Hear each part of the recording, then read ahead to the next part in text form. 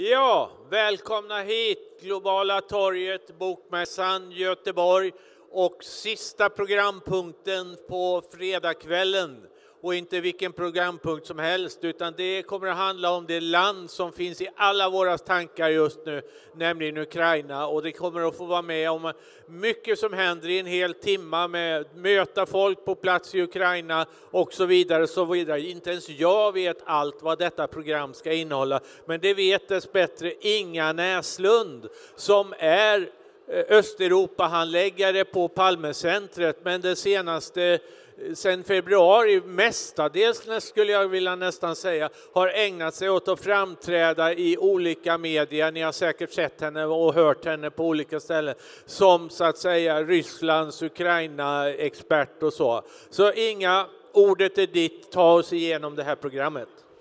Ja, och vi har ju eh, gäster på, på bildskärmen redan.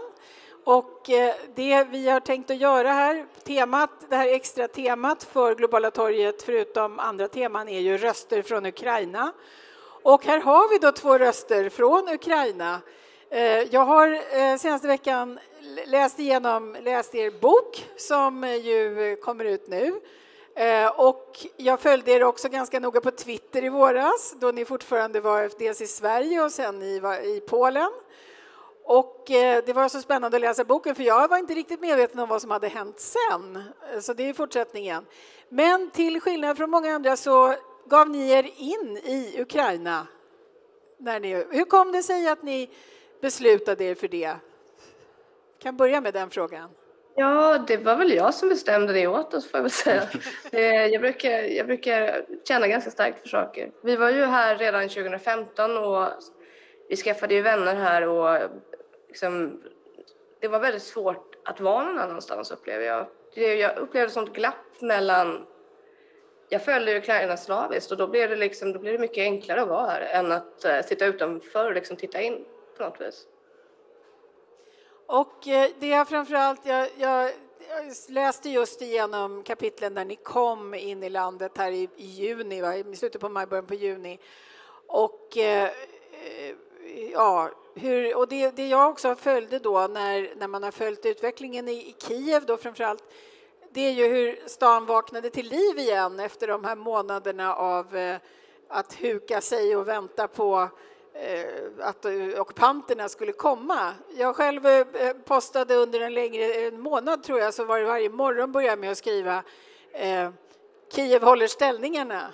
Och sen så sa jag ändå nej nu slutar vi med det här för nu har de faktiskt gett sig iväg. Men ni kom dit, då var det ändå en hel del eh, liv i stan. Det, det, är ju många förstås. Det är inte, hur många, mycket kvar av befolkningen i Kiev ungefär räknar man med?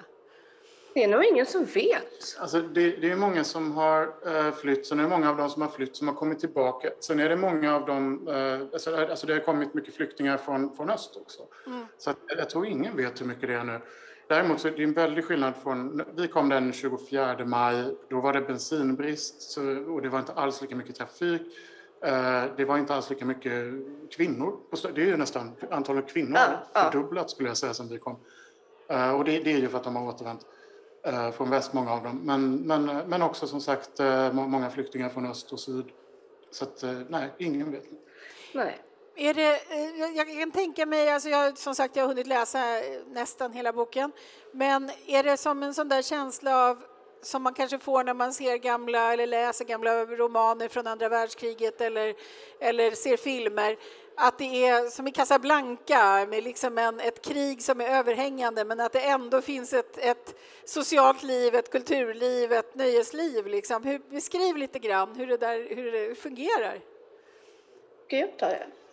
Alltså, allting blir ju starkare i krig. Alltså alla mm. känslor. Ilska och sorg, men liksom även kärlek och liksom gemenskap. Det är en oerhört stark gemenskap här. Man, man kan ju skaffa sig vänner på en halv minut genom att liksom bara le till någon. På snabbköpet så börjar man prata. Det är, alla känslor är starkare, men samtidigt pågår det ju en fullt normal vardag. Liksom, mm. Folk är arga för att bilen inte startar och, och folk går och klipper sig. Det, det är vardag, men, men med en oerhört stark gemenskap. Man känner att det är väldigt mycket kärlek i luften.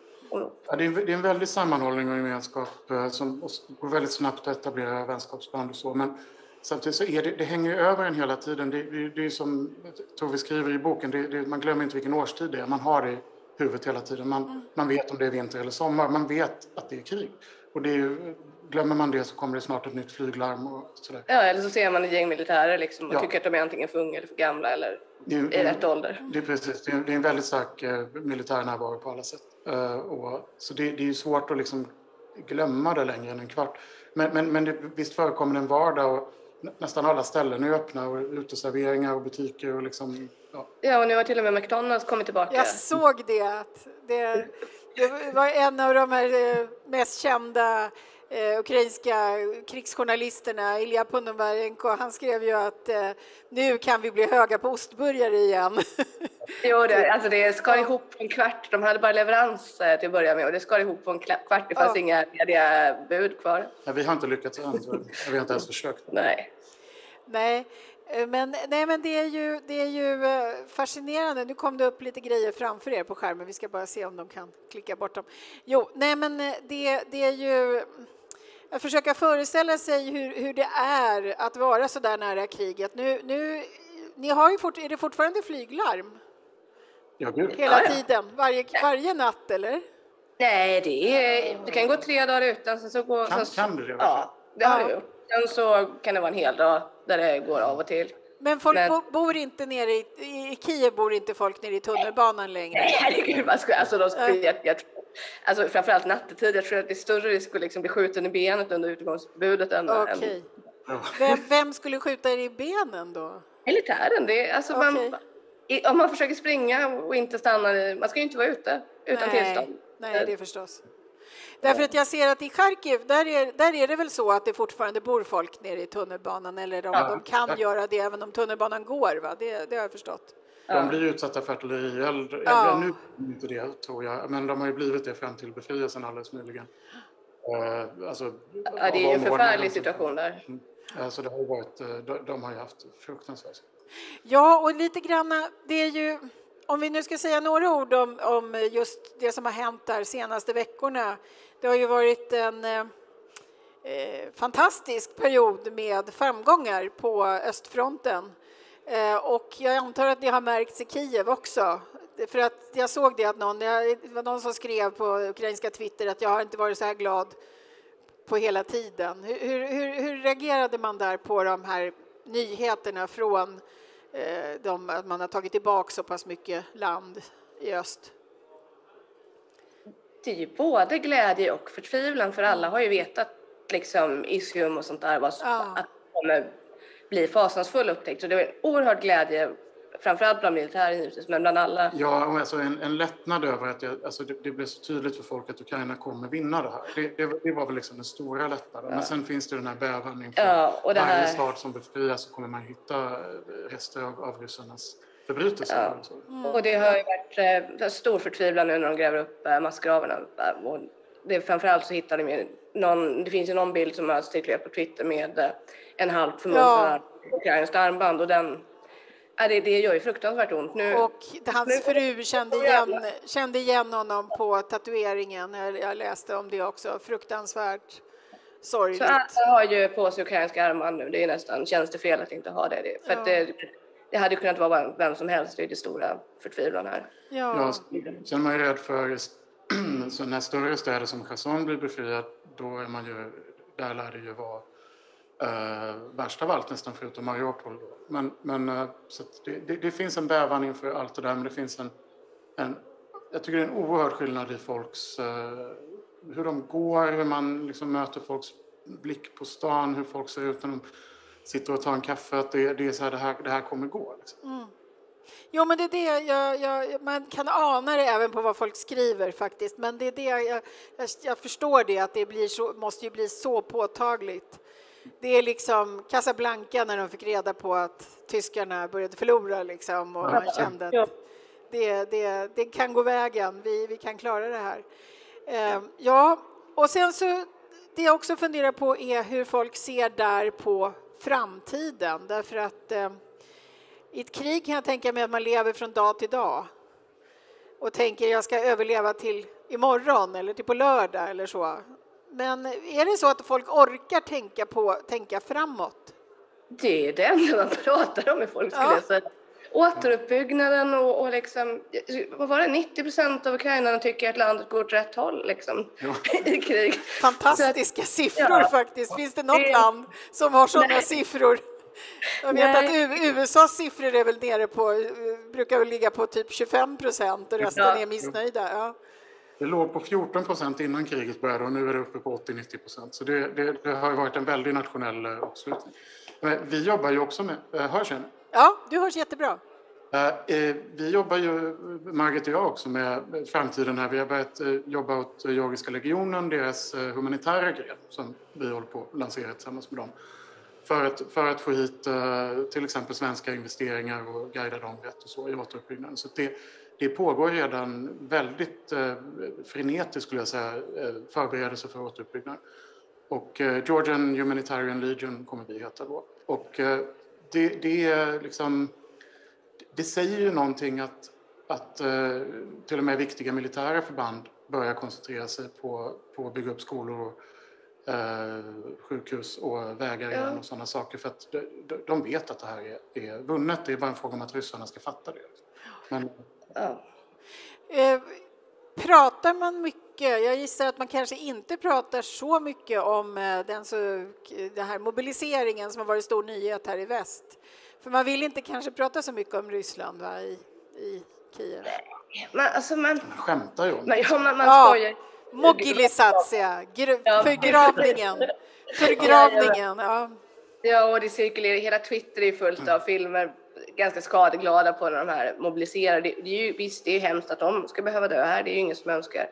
Det är mycket bättre om de stannar hemma, men ska de dö, ska de dö här ska de i alla fall liksom, de ska, de ska inte ta med sig några ukrainska soldater i graven. Så att, mm. Ett vanligt skämt är väl också att eh, de här stackars åkrarna i öst och syd kommer vara alkoholiserade för all framtid på grund av alla ryssar.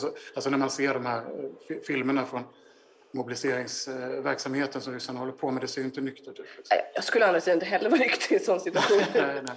Nej, och det är ju eh, ända från första stund så har ju det blivit tydligt att det Putin sa i sitt tal, tal var ju, det hade man, visste man väl att det är bara ljug från början till slut. Ja. Han sa ju till exempel att det var bara reservare som skulle kallas in och det, det har de ju brutit mot direkt. Och det finns listor som jag har sett, för jag har kollat för vänner som jag har i Ryssland hur stor risken är. Eh, och där står det ju till exempel att eh, ingen kallas in om de är över 50 år, men det är ju också fel. Det, det, det verkar ju, och, de, bara sådana som har varit reservare, nej, de, tar, de står i tunnelbanan i Moskva och eh, delar ut inkallelseorder. Jo, nej, men de, de måste väl få ihop sin kvot liksom och sen Ja. är det väl fråga vilka det blir. Gammal fin tradition från Stalin, eh, Jo. rep- repressalierna. Få ihop sin kvot och skicka till lägren, fast nu då på ett, ett eh, värre sätt i princip. Sen får man ju säga till ukrainarnas, eh, alltså det är ju inte bara råa skämt utan det cirkulerar i många listor så här, se till att det här når ryssarna, så här gör du för att ge upp liksom. Jo. För det är ju ingen som vill, det är ju ingen som tycker, uppskattar att döda de här människorna i onödan. Det bästa är ju att kunna skicka tillbaka dem igen och få tillbaka ukrainska krigsfångar. Ja. Det finns ju faktiskt ett ryskt regiment, eller flera tror jag, ryska regementen eller bataljoner eller vad de kallar det för, eh, som slåss under den här nya ryska flaggan som är utan blod, det vill säga blått och vitt bara. Men eh, det, vi får väl se, det är väl inte så enkelt heller att bara plocka över eh, folk som lägger ner vapnen och man Nej, måste... nej, det, det går nog inte riktigt hur Nej, som. nej. Det- Det är väldigt svårt att veta, ska jag säga, vad som är propaganda i det där också. Och det gäller även vad som är eh, så här, skum rysk opposition som kanske låtsas vara oppositionell och som kanske inte är det. Alltså det, det är väldigt svårt att veta med de här ryska förbanden. De, de belarusiska förbanden är, är uppenbart att de är här eh, och gör en väldig nytta. Men de, de här ryska förbanden, jag vet ärligt talat inte vad, vad jag tror. Vet du vad du tror? Nej, det, är, det vet inte ukrainarna heller. Det, det är, de är lite mystiska. Jag tror säkert att de finns, men men i stor utsträckning det är ingen som Nej. kan Nej, svara. och jag kan tänka mig att de kanske inte riktigt kan gå ut Nej. med sina foton i sociala medier heller. Nej, Om de nu finns, om de nu finns så kan de inte riktigt eh, göra reklam för sig om man säger så, av säkerhetsskäl för släktingar och så vidare. Ja. Nej men, eh, ja, nej, men eh, fak- fascinerande. Men ni ångrar inte att ni åkte till Kiev då förstår jag? Nej. Nej, nej, nej, det, nej, det- nej Det är, en det är en fantastisk stad, det är en fantastisk tid att vara här. Alltså det, det är ju som att det, det är ju som att vara med om en nations födelse. Trots allt elände och alla tragedier och alla förbrytelser så, så, så är det ju... Um, jag vet inte om det var så här det var att åka till Israel på 50 eller 60-talet eller någonting, att man känner liksom att uh, det här landet kommer aldrig bli sig likt och det kommer aldrig bli splittrat. Vad det än blir framöver så kommer det hålla ihop, det tror jag verkligen. Ja, det ju, säger ju alla att där har ju Putin eh, ja. lyckats uppnå ett mål, nämligen att ena Ukraina som aldrig förr och, och för all framtid skulle jag tro också. Ja, nej men eh, fascinerande. Jag, jag, är själv väldigt sugen på att åka till Kiev. Vi får se om jag kan få till det på något vis. Gör det. Så, Gör det. Vi, så, se, så, kanske vi ses där nästa gång. Väldigt gärna. Ja, eh, vi får se hur, hur mina chefer vad de säger om försäkringar och såna där världsliga saker. Ja. ja. Men, eh, men som sagt, det, jag, jag, är ju, jag har varit många gånger i Kiev och jag, det, är ju, det, det var en vacker stad redan förut och jag kan tänka mig att nu med den här extra kampviljan och så, så, så så är det något alldeles fantastiskt. Jag är väldigt avundsjuk på er att ni är där kan jag säga. Ja. Det var roligt. Ja. Ja. Det blir jag glad för, för det är så många som säger hur vågar ni vara där, vad hemskt, det är så synd om er. Ta en paus från kriget, hör man folk ibland. Man bara, hur fan, hur gör man det? Nej. Då tar man en paus från det. Men, men, men, men jag blir jätteglad att du säger att du är avundsjuk, för det är fantastiskt. Ja. När vi höll på att åka ut, för vi höll på att få inte få våra journalistackrediteringar i tid, och då skulle vi då i sådana fall behöva åka ut till Polen i tre månader och jag har nog aldrig varit så förtvivlad. Men man skaffar sig så många vänner här också och oroa sig för dem när man inte är i landet, det går ju inte. Det, är liksom, det hade varit en mardröm. Nej, jag har, jag har en eh, ny Facebook-vän som är ukrainare med rötter i Zaporizjzja och mm. han sa så här i början på sommaren till mig, men vi kan väl åka dit i augusti?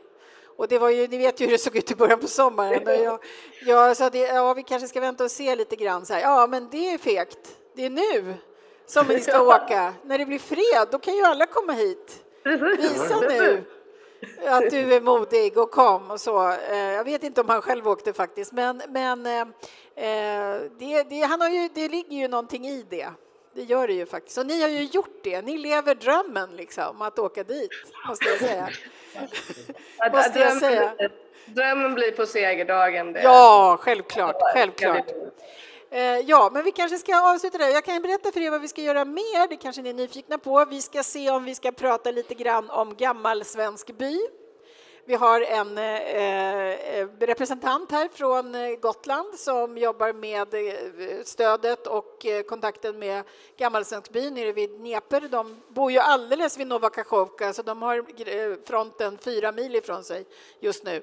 Eh, och det är faktiskt live-samtal utan skärm. Men sen ska vi också ringa upp eh, Katja som är en av våra ungdomsaktivister i Trade Union Lifeline som är Palmecentret jobbar mycket med nu just nu. De är ju statsanställda många av dem så de har massor med kontakter i alla statsanställda i Ukraina. Det är liksom kommunanställda och allting.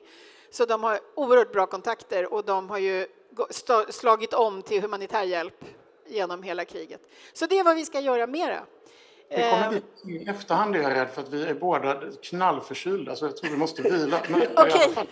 Ja. Men, vi, Men vi, eh, det, det, gör ni rätt i i så fall. Ja, det var en lång dag idag. Det var ja. väldigt... Ja. Men tack så mycket för att ni var med. Tack. Och jag hoppas vi ses i Kiev snart.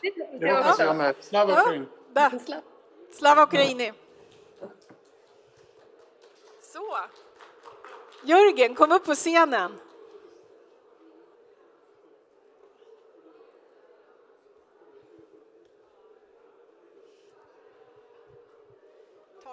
mikrofon. Ta en mikrofon. Nej, jag tror inte det spelar så stor roll. Ja, Jörgen, jag blev så glad när jag såg att ni var här på mässan. Jag har eh, blivit medlem i er Facebookgrupp.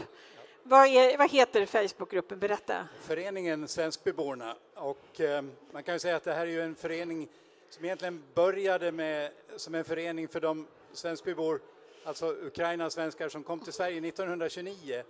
Eh, och det var väl långt om länge så var det en ganska tillbakablickande grupp. Men eh, efter Sovjetunionens fall så blev det ju möjligt att, att resa igen till, till till gammal Svenskby. Och nu ska vi direkt, eh, vi ska röra till förhållandena lite grann här. Alltså, gammal Svenskby idag är en bydel i den lite större by som heter Smijivka eller eh, på tyska Schlangendorf. Och det här ligger alltså 85 kilometer norr om Kherson längs med Dnepr och det ligger 15 kilometer från Berislav och det ligger ungefär 25 kilometer från Kashovka, Eh, det, det kraftverk och eh, eh, den, det industrisamhälle som har vuxit upp där. Och som du sa, det ligger fyra mil ifrån fronten. Men det ligger alltså sedan mars månad på ockuperat område. Ja, och eh, när jag bad dig komma upp hit och prata, då sa du att du var lite orolig för att det är ju, de är ju under rysk ockupation och det är inte roligt att vara det.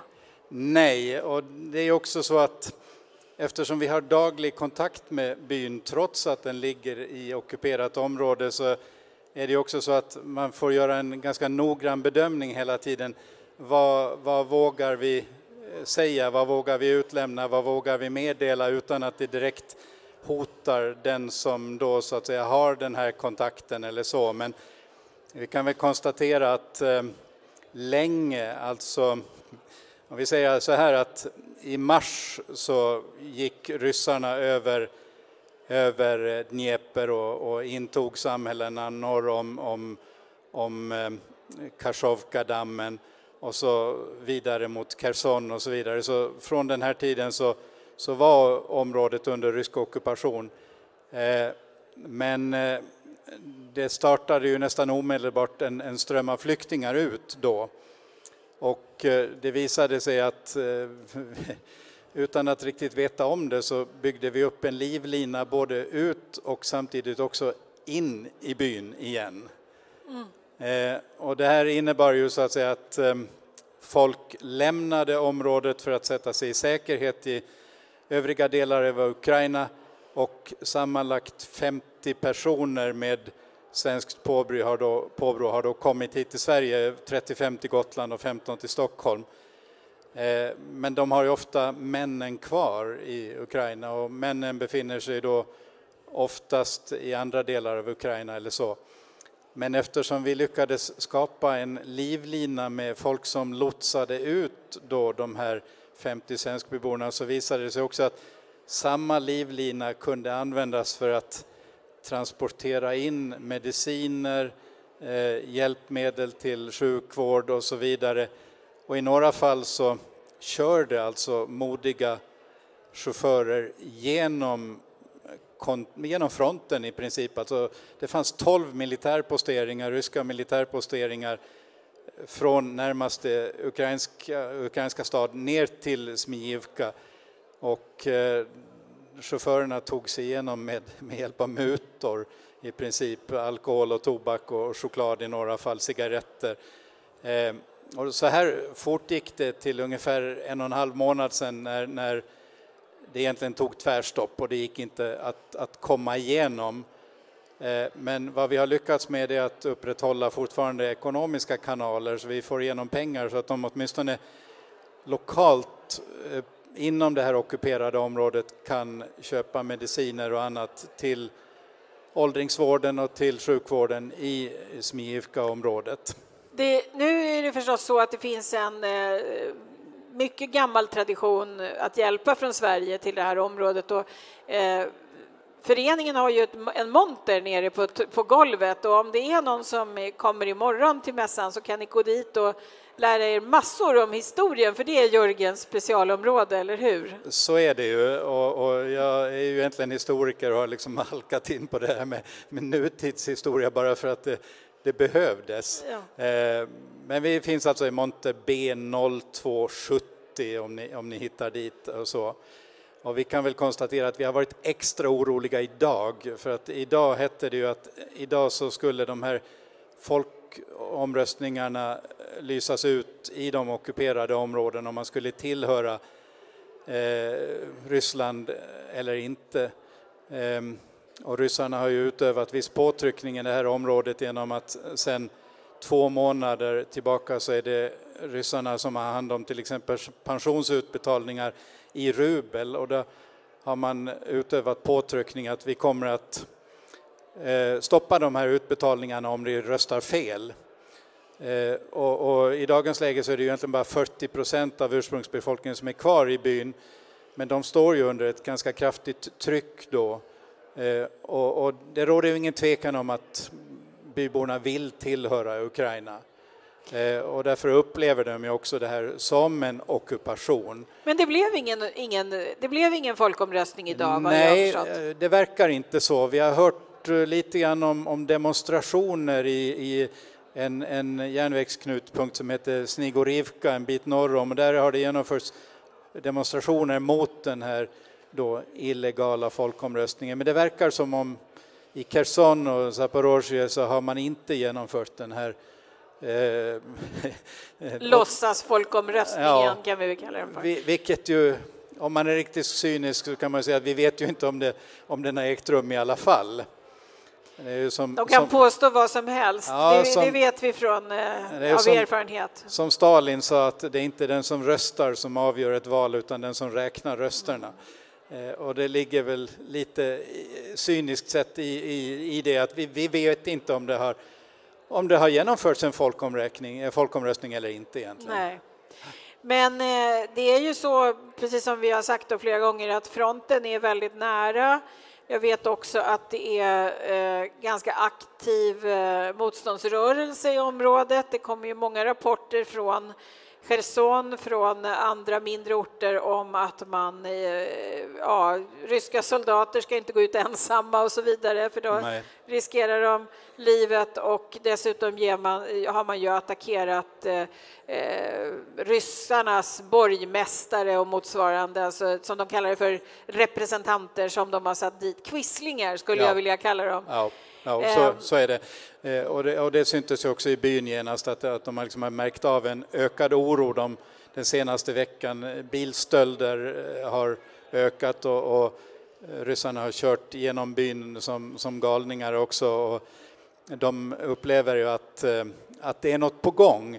Och där ska man ju då veta att eh, den ukrainska beskjutningen har ju resulterat i att broarna över, över, över Dnepr är förstörda och, och ryssarnas Eh, skräck har väl kanske varit då att, att bli isolerade på fel sida av Dnepr. Eh, och det resulterade i att för tre dagar sedan så körde man plötsligt ner nio stycken järnvägsvagnar i floden för att liksom bygga upp någon slags fundament till en enkel pontonbro precis vid, mellan Berislav och Karsovka.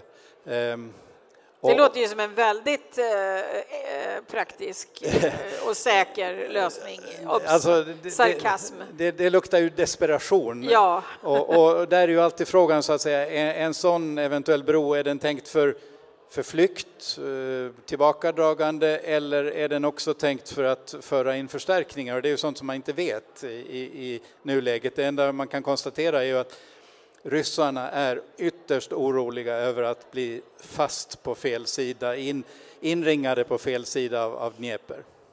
Det, eh, har, har, man i byn där märkt någonting av den, eh, vad ska jag kalla det för, kultur, det kulturkrig som ryssarna har startat i de här ockuperade områdena med rysk importerade lärare, Ja. Eh, omskolning av ukrainska lärare och så vidare. Är det någonting som du ja. har hört eh, också från? För ungefär en månad sedan så annonserade man inför skolstarten att alla läromedel ska bytas ut mot ryska läromedel. Eh, den eh, lokale ukrainske rektorn för skolan i området avsattes och efter mycket övertalning så fick man en, en pensionerad lärare att ställa upp som, som ny rysk rektor då. Eh, så det här är ju en del i, i det hela och det är klart att man har ju då också sagt att all information hädanefter kommer att utgå på, på ryska och, och man har ju också sagt att, att man ska byta ut betalningsmedlet från hrivna till, till, till rubel. Ehm, så har det ju inte riktigt fungerat, alltså man har ju på ett sätt liksom handeln har fortsatt i den ukrainska valutan hrivna ehm, medan då till exempel pensionerna har betalats ut i rubel.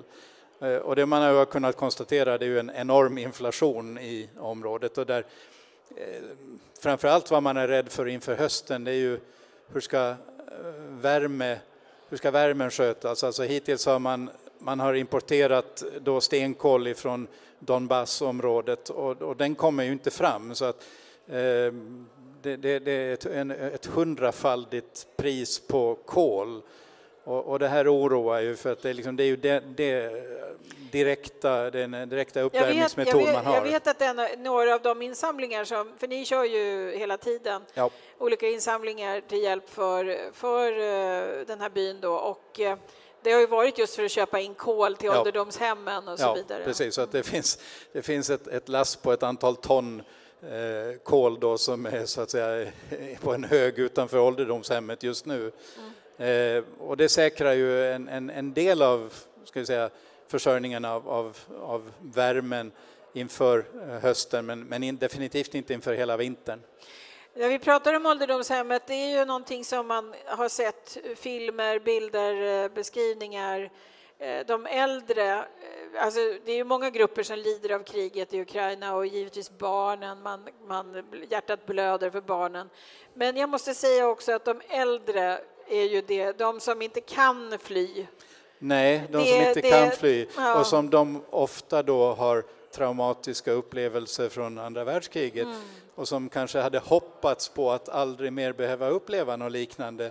Att då eh, i, i, under sin ålders höst då mer eller mindre så att säga vara kanske bunden till, till sängen eller någonting så inte komma därifrån och sen uppleva liksom Helvetet igen. Helvetet igen, beskjutningarna, alltså fronten går fyra mil därifrån. Det flyger, det flyger missiler över ständigt och, och i förrgår så sköts, sköt ryssarna ner en ukrainsk missil som kraschlandade i byn två meter från en husvägg. Och det är klart att, att alla är otroligt skärrade och de säger att vi, vi orkar inte mer. Liksom vi, vi är vakna natt efter natt och det, ljudet är enormt ifrån eh, den beskjutning som pågår och vi hör de här missilerna som eh, surrar ganska lågt över byn. Liksom, vi orkar inte mer, vi står inte ut, men vi gör det. Ja, ja det, det, det är ju... Ja, jag, jag säger så här att det, det är ju vi pratade om det förut också, man kan inte hjälpa alla byarna i Ukraina, men ni kan hjälpa den här byn och det är dessutom superintressant att få den här inblicken i hur ja. det här påverkar livet i en liten ukrainsk by. Hur ja. många bor det där nu? Eh, totalt sett, alltså före kriget så hade storbyn, som då egentligen den gamla svenska byn och så tre tyska före detta omgivande byar, eh, hade en befolkning på drygt 2000 invånare. Och idag så säger man att ungefär 60 procent är evakuerade eller har lämnat byn och ungefär 40 procent är kvar. Och, och, det är klart att en folkomröstning skulle ju då innebära att de kvarvarande avlägger en röst även för de som har lämnat och det råder ingen tvekan att de som lämnade befinner sig i Ukraina så att eh, om de pressas till någon form av beslut så är det ju heller inte legalt det Nej. som sker. Nej, verkligen inte. Eh, får jag fråga en sak? Det är många som frågar om språk. Jag pratade om språket och kriget här på en annan, ett annat seminarium förra helgen. Och nu har vi hört att det fanns tyskar där och det var väl tyskar som Katarina den store, ja. stora skickade ja. dit. Ja. Eh, hon var ju tyska själv så hon, eh, hon importerar dem ungefär som vi gjorde med vallonerna tror jag. Ja, man, man, kan ju säga att det här var ett område som erövrades eh, av Ryssland från Turkiet och som var rätt öde. Jag menar, det fanns ingen större mm. bebyggelse där. Och då kallade man in eh, tyskar och sen den här lilla gruppen svenskar, då, tusen svenskar. De fick som, gå. De, de fick, gå. fotvandra från dagen ner till... Helt till sanslöst också. Eh, och det här, alltså tyskar och svenskar är ju en grupp då. Sen, sen eh, kan man säga att det har tillkommit andra. Det finns en, en, en liten grupp eh, moldaver i byn också. Eh, och sen är det ju så att det här, alltså det stora, ska vi kalla det för skiljelinjen i språken går egentligen öster om, om Dnieper. Så att eh, här eh, talas det väl mer ukrainska, men det finns ju rysktalande i byn också. Okej, men den räknas ändå, det är ändå ukrainska som Det är ukrainska är... som har varit eh, huvudspråket och det okay. fanns liksom eh, jag vet inte om, om, om, man kan uppfatta det här som kritik, men efter 91 så var Ukraina ganska måna om att införa ukrainska som, som undervisningsspråk. Och, och, och officiellt språk för alla dokument språk. och så. Och, och, delvis så stötte man ju sig med den, ukrains, med den ryska minoriteten genom att också i områden där det, majoritetsspråket var ryska införa ukrainska som, som språk. Men i gammal Svensby så var det inte några problem med det här utan det var ukrainskan som gällde och det var liksom ingen större opposition mot det på något sätt. Och, och som du också sa här tidigare, alltså är det någonting som Putin har lyckats med så är det ju att, att skapa en nation av flera folkslag. Alltså ryssar i området säger att eh, vi är ryssar men vi är ryska ukrainare. Mm. Eh, så att vår lojalitet ligger hos Ukraina och vi vill inte bli ryska ryssar mm. igen. Eh, sen kan man säga att är man lite kritisk så kan man säga att Ukraina gjorde ett ganska stort misstag på, på Krim just genom att implementera ukrainskan som undervisningsspråk på, på Krim och så. Eh, och likadant eh, i, i Luhansk och, och i, i, Donetsk. Eh, och ändå är nu bokstaven I på ja. ukrainska, det vill säga I med två prickar. Den är ju en protestmarkör. protestmarkör, det är ja. det man målar graffiti var man kan komma Precis. åt. Jag har jag sett menar, fantastiska bilder, bevis på att till och med i Mariupol, den ja. stackars eh, plågade staden, ja, alltså där på... dyker det här i upp överallt. Ja, så, jag menar till och med på ruinerna där och man kan ja. säga att som som svar på ryskans Z, ryssarnas Z så kommer det här ukrainska i upp. För det här ukrainska i finns inte i Nej. det ryska kyrilliska alfabetet utan bara i det ukrainska? Nej, och det som hette Smejevka under Sovjettiden det bytte ju då namn till Smijivka. Då. Så um, det här är en markering ja, ja. med, med i -et. Då ska vi börja, jag vet att du behöver gå ner och packa ihop. Eh, tack så hemskt mycket Jörgen. Ja. Och, eh, som sagt, vill ni lära er mer om eh, den otroligt intressanta historien bakom Gammal Svenskby och Svenskbyborna så gå ner och träffa Jörgen. Du är där hela dagen imorgon, eller hur? Jag är hela dagen ja. imorgon på söndag, men framför allt så gå in på föreningen Svenskbybornas Facebook-sida och föreningen Svenskbybornas hemsida på nätet där vi då uppdaterar den här dagliga informationen som vi får ifrån byn och som ger, som du säger, en ganska liksom unik liten inblick i livet i en by i den ockuperade delen av Ukraina. Jag hoppas Jörgen att nästa gång vi träffas då ska vi fira att eh, Gammal Svensk by och Smijivka är fria Ja. ja. nästa år i Jerusalem heter ja. det. Mm. Och jag, vill, jag, har ju aldrig besökt gammal svensk by och det är en gammal dröm för mig. Så att det här, förutom Kiev då, ja. så får vi ta nästa sommar kanske eller så och åka. Du får ta flodbåten ner från Kiev. Åh, det låter fantastiskt. Det låter ja. fantastiskt. Tack. Ja. Men då tar vi och eh, avslutar med dig där och vi har ju en liten stund kvar och vi har eh, Ja, en applåd för Jörgen och för föreningen. Jag tänkte så här, många av er som lyssnar tror jag har ett engagemang i bistånd på olika sätt. Eh, vi på Palmecentret jobbar ju på vårt sätt. Vi jobbar ju egentligen främst med eh, organisationer som eh, håller på med mänskliga rättigheter, fackliga rättigheter, systerorganisationer till Socialdemokraterna och så vidare. Eh, men under det här kriget så har ju, eh, och vi hade faktiskt inte några riktiga aktiva projekt i Ukraina när kriget startade. Men på dag ett, den 24 februari, så bestämde vi oss för att starta en insamling för de vi eh, framförallt hade fått kontakt med under förra året och lite grann av en slump. Jag ska inte gå in på exakt hur det gick till, men, för det är lite för lång historia. Men vi hade precis etablerat kontakt med ett fackligt ungdomsnätverk i Ukraina under 2021.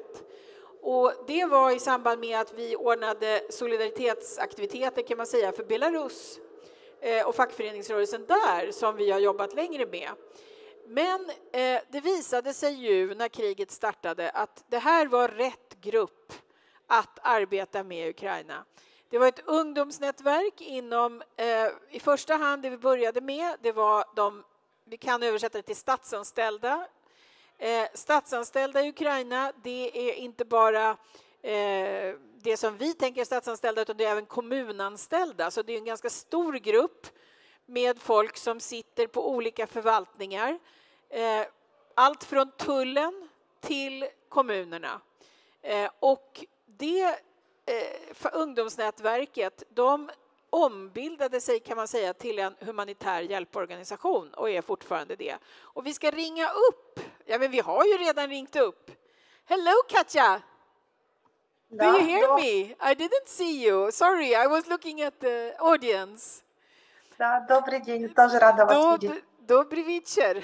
Добрый вечер, да, добрый вечер, Инга, очень рада. Katja, I was just telling the story how it came to be that we, uh, so early on the first day of uh, the war, we started to uh, plan with you uh, how to use the fundraising that we did uh, from the first day of the war uh, for to help with your work in Ukraine. You now you're in Germany now, yes? Э, нет, на сегодняшний день я уже в Киеве. Ah, you're in Kiev also. Да. Nice. Да, nice. да, я э, в начале июля уже окончательно приехала. Ah, I didn't know.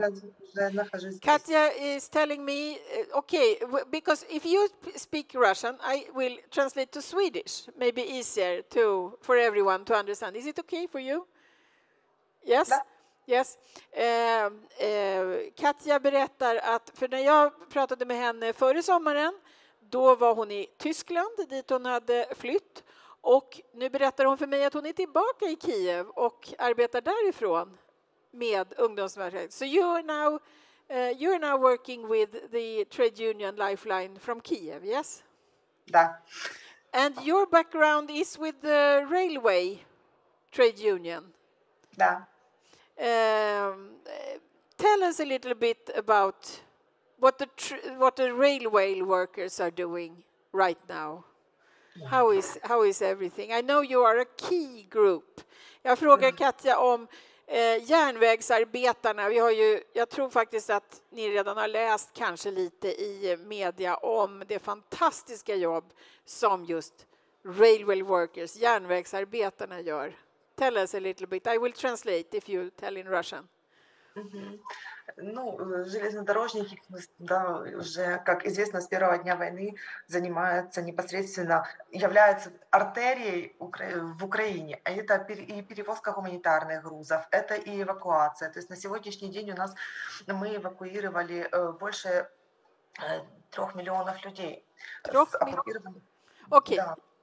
I will translate. Eh, Katja berättar att järnvägsarbetarna och järnvägarna, det är ju artärerna i Ukraina, verkligen, li, verkligen en bokstavlig livlina för eh, landet. Och eh, man har dels kört in humanitär hjälp av olika slag, men man har också evakuerat och till dags dato så har man evakuerat tre miljoner människor från eh, de områden där det har krävts. Tell, tell us more. This is a very risky work. Did you, did you, I, I know if you look at the map with uh, the railways of Ukraine, you see that you have a lot of them. There's railways everywhere. And I am amazed because in Sweden we have our own problems with railways. I won't uh, point any fingers. But uh, uh, to come to Gothenburg, for example, is an adventure. You never know how many hours that will take. Uh, but in Ukraine, I have been amazed when you say, oh, they bombed uh, some uh, very important places, and uh, now we have delays in the railway traffic for 40 minutes. A dream for Swedish. Tell us.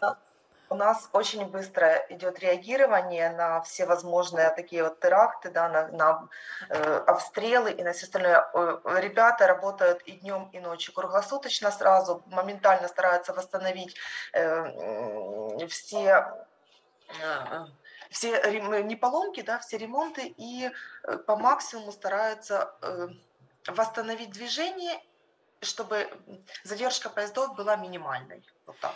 Eh, Katja berättar att eh, de har beredskap dygnet runt hela, hela tiden. Och så fort det händer någonting, så fort de eh, blir attackerade, just järnvägsnätet, så har de folk som går in och reparerar och eh, fixar till så att de ska få igång trafiken igen. Så att det, bara den delen av det här arbetet, förutom att köra själva tågen, är ju förstås eh, enormt viktig för landet. So, what, tell us a little bit. What what what are you doing? What what will you do on Monday, for example? The, what what how do you what your work in the trade union lifeline and in the railway workers? What are you what are your plans for next week for Monday? План на следующую неделю.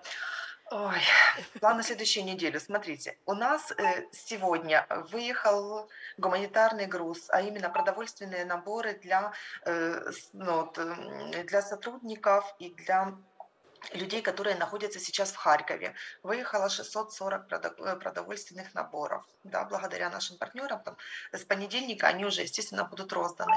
Э, потом завтра, послезавтра у нас будут ехать э, точно так же продуктовые наборы, но они будут ехать в Киевскую область, потому что в Киевской области на сегодняшний день у нас очень много внутренне перемещенных особ. У нас очень много людей, которые на сегодня, ну, сейчас в простое находятся да, и не имеют возможности работать. А также у нас есть э, вот с Лимана, с Мариуполя, с Новой Каховки, с Херсона. Okay. Now I have to translate a bit or I will forget what you said in the beginning. Eh, hon berättar att nästa vecka så kommer de framförallt att köra in livsmedelspaket till eh, Charkiv eh, där det behövs. De har ju många som, som eh, behöver få mat där och även inom Kievområdet faktiskt, där de nu också, precis som vi hörde här tidigare, har många eh, internflyktingar. Och därför så, så eh, behövs det även matpaket där. Och sen så även för längre bort liggande städer som till exempel närmare åt östfronten till. Please, go on. Да, дальше что еще идет подготовка к зиме. Да, все мы понимаем, что будет э, холодно, неизвестно, будет ли у нас отопление и будет ли у нас горячая вода и свет. На сегодняшний день с этим совсем есть перебой. Поэтому точно так же идет закупка э, буржуек, закупка э, обогревателей, закупка чайников, закупка каких-то электроплит для того, чтобы у людей была возможность каким-то образом и обогреваться, и настроить все-таки свой быт. Eh, Katja berättar att eh, just nu, förutom livsmedelspaket, så försöker man förbereda sig för vintern. Eh, man är ju mycket medveten om att i många områden så har man det svårt, precis som vi hörde berättas här tidigare, så har man svårt med uppvärmningen, man är rädd för vintern. Och det man gör nu är att man köper in både alla möjliga sorters element, uppvärmning, generatorer som kan driva olika saker, te, tekokare, allt sånt som kan behövas, elektrisk utrustning som man kan använda för att på plats få, lite, få varmt vatten, få lite värme i husen. Så det är det som just nu är aktuellt för eh, hjälpsändningarna i Ukraina. Да, еще у нас эм, такая вот акция тоже сейчас началась, и мы ее э, уже доводим почти до конца. Да, это э, в этом году он, э, дети не имели возможности оздоровления украинцы, да, и мы решили помочь им и закупить витаминные комплексы для поддержания их иммунитета и для поддержания их здоровья тоже на следующей, в конце следующей недели уже будем выдавать и раздавать э, деткам эти комплексы. Выбран был до шк... Э, э, младший школьный возраст вот, для такой поддержки. Och en ny sak som de har kommit fram till att det behövs det är att dela ut vitaminer och förebyggande medicin till barn eh, som behöver det, de som kanske har fått lite dålig kost här under, eller mycket dålig kost under kriget. Så det kommer också att för, eh, distribueras vitaminpaket till, till eh, framförallt förskolebarn. Да, и, ну, опять-таки, да, вот что касается профсоюза Держустанов, у них ну, буквально через неделю будет э, еще одно образовательное мероприятие в Виннице, они будут проводить, э, тоже будут рассматриваться разные вопросы, начиная от э, условий работы во время военного времени, э, до, ну, естественно, будут затрагиваться вопросы и нового трудового законодательства, изменения в трудовом законодательстве во время войны. Ну и на постоянно... А, да. Ja.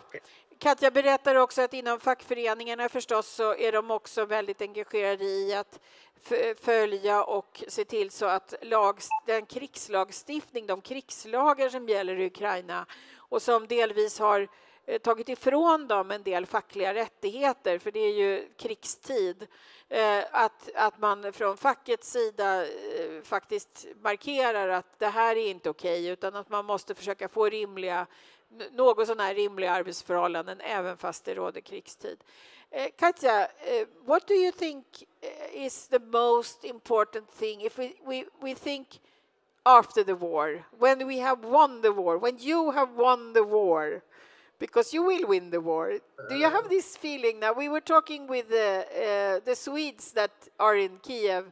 Uh, there are two writers who was, all, we were also calling them up, and they say that the last weeks have been um, uh, very good for the morale in, in especially uh, there in Kiev that you have the feeling now that this is possible you can win the war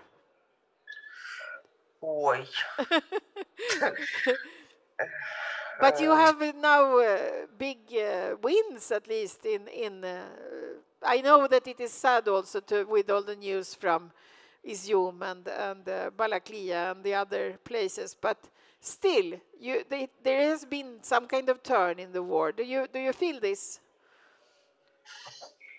No? Ох, что я могу думать по этому поводу? Конечно, это на самом деле страшно, да, это непонятно, что и как будет дальше. И, ну, держимся, работаем. Ja, Katja säger att hon vet inte riktigt vad hon ska säga om det här, men det, för det är ganska hemskt också. Men vi måste hålla ut och vi måste arbeta, det är det som gäller. Men eh, do you think about planning for after the war? Are you, are you talking about this in the organization, in, in, the, in the youth network? No? Not yet. It is early maybe. У нас просто планы меняются практически, ну, все действует э, по ситуации. И, естественно, если будет потребность, будет все добавлено в планы, и будем э, каким-то образом стараться, в общем, поддерживать, помогать и включаться во все процессы, которые э, возможно. Ну, что в наших силах, вот так. Katja säger att det är, det är lite svårt ännu att planera för framtiden. Hon känner att de är tvungna att hela tiden anpassa det de gör efter det som händer och efter kraven, den nuvarande situationen. Så att de har kanske inte riktigt eh, ork ännu att se framåt eller mod, att, eller mod har de, men de har, det, det är inte riktigt läge än att planera på längre sikt. but I will say something. We we are soon finishing up, and I will say that uh, I hope I will see you in Kiev soon. I really want to go visit. We will see if that will be a successful plan. But uh, I know that I'm very happy to hear that you're back in Kiev. I think you you uh, you are happy to be back. Yes. Uh No? Нет, я на самом деле действительно рада, что я приехала, да, э, что, потому что здесь, э, как ни крути, но все родное, все близкое здесь находится. Здесь те люди, которые поддерживают, те, которые всегда рядышком, и ты точно знаешь, что ты не один. То есть в данный момент это очень важно. Ситуация, ситуация в Киеве, конечно, sложная, но, но живем, двигаемся дальше, жизнь продолжается. Ja, självklart, säger Katja, så är jag glad för att vara tillbaka. Här finns ju alla mina nära och kära och eh, det är här jag vill vara.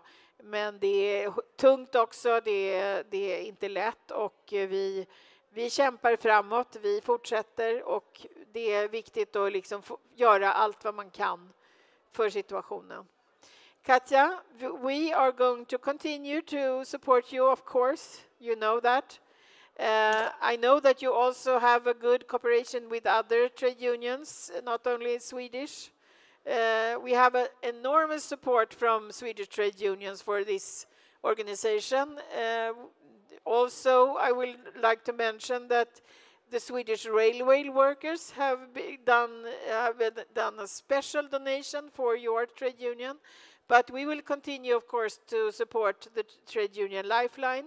And uh, I, at least, are looking. For, I'm looking forward enormously to plan for uh, a new life after the war. I know that it is hard to imagine maybe now, but the day will come, I think. Katja, thank you so much. Вам тоже огромное спасибо, огромное спасибо за поддержку, за то, что вы нас не оставляете с первого дня войны, за то, что вы есть, за то, что Ой, все, что вы делаете, вы делаете для нас, ради нас и ради okay. mira на земле. Спасибо вам огромное. Okay. Katja säger också tack till oss och tack för att vi stödjer dem och att vi har gjort det från dag ett och eh, att vi fortsätter att göra det. Och det är självklart att vi kommer att göra det, faktiskt. Of course we will. And uh, we will we will talk again soon, okay? And give my big hugs to Ivana when you see her. Ivana couldn't be with us today because she's on a plane uh, somewhere. She was going to London, I think. Uh, and uh, you are, as I said, you have more contacts now with not only Swedish trade unions but other countries, and this is very good. Uh, we need a strong support network in all Europe for Ukraine as a country, but also for the Ukrainian trade unions. So, Slava Ukraini. Героям слава. Ah, Героям слава. Thank you. See you soon. See you soon. Så, då blir det nästan dags att gå hem. Är det så, Björn? Ja, tack så mycket för den lilla tappra skaran som har lyssnat. Vi, vi eh, kommer att fortsätta att prata Ukraina imorgon. Då blir det kanske lite mera litterärt tema. Vi kommer att få besök eh, här på mässan av eh, Andrei Kurkov som är eh, ordförande i ukrainska pennklubben. Eh, vi hade tänkt att ha aktiviteter med honom här på scenen idag, men han kommer så sent ikväll så att det, det är för sent för dagens program. Men imorgon kommer det vara flera programpunkter med honom och då ska vi förstås prata om litteratur och journalistik och frihet eh, att skriva vad man vill även under krigstid och hur man är man journalist eller är man aktivist när det är krig. Tack så mycket för idag.